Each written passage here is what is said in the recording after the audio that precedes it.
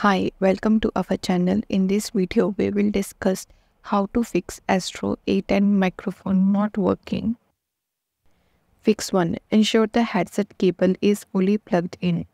The cable connecting the headset to your PC or controller should click into place.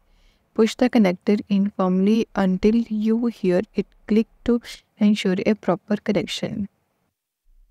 Fix 2. Check the microphone device setting. Open the window control panel and navigate to the sound setting. Select the recording tab and ensure the headset microphone is enabled and set as a default device. Adjust the microphone volume to the highest level. Click apply to save the changes.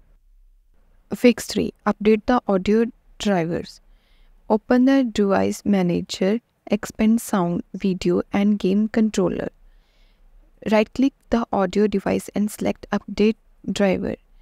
Choose Search automatically for Update Driver software and follow the prompts. Fix 4. Uninstall and reinstall the microphone device.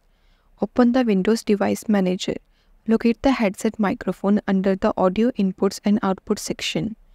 Right click on the device and select Uninstall device. Restart your computer win and Windows will automatically reinstall the microphone device. Fix 5. Contact Astro support team. If none of the above fixes resolve the issue, there may be hardware problem with the Astro A10 headset. Visit the Astro support website and submit a request for assistance. Provide detailed information about the problem and any troubleshooting step you have already taken.